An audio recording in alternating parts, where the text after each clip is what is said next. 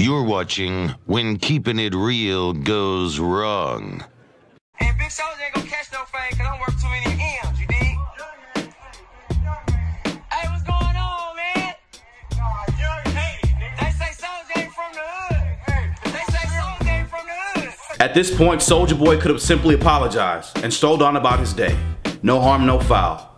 However, Soulja Boy decided to push his realness to a whole nother level.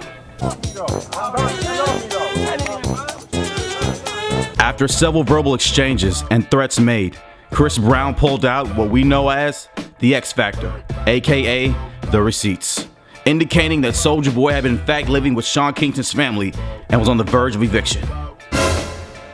This prompted a swift fallback.